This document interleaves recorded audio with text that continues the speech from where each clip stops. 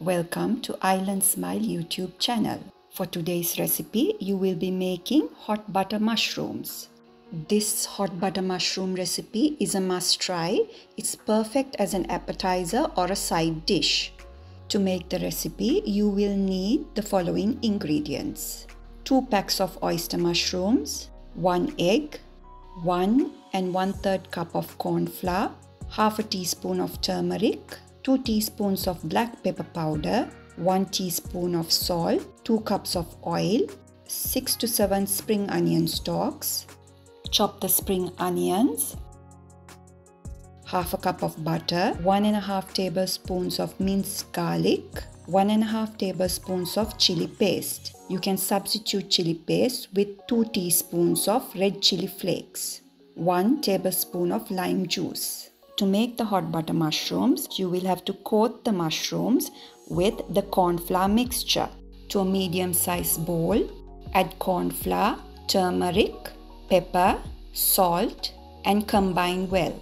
Then set aside. To a larger bowl, to remove the oyster mushrooms from the package and shred them into strips. Transfer them into a larger bowl. Leave the smaller mushrooms as they are. Add the egg yolk, and combine well. Gradually add the corn flour mix into the mushroom and coat them well.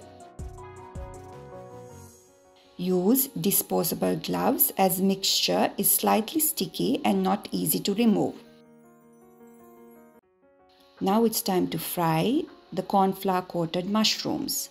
Before you start frying the mushrooms, place a kitchen paper towel covered tray close to the frying pan. Place a medium sized pan over low medium fire and pour in the oil.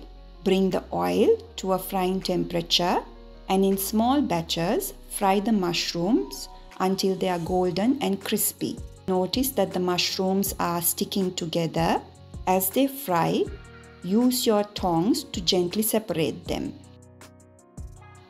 Drain oil completely before placing the crispy mushroom fries on tray and lay them so that they are not stacked onto each other. Place a large frying pan over low medium heat and add the butter. Let the butter melt and then add the minced garlic. Cook over low medium heat for 1 minute. Add the chili paste. If you're looking for a chili paste recipe, go through my YouTube channel and you would find the recipe there. Once you add the chili paste, reduce heat to low and cook for 2 minutes. Then add in the chopped spring onions.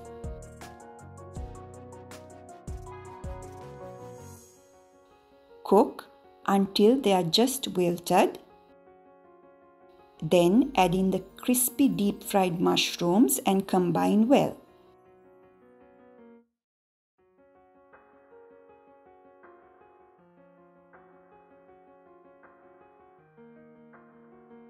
Taste and season with salt and lime.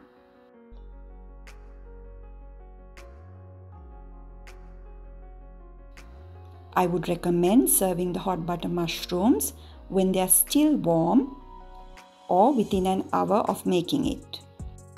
And this is your hot butter mushroom recipe. As always, thank you for watching. Please leave your comments and questions below. We love hearing from our viewers.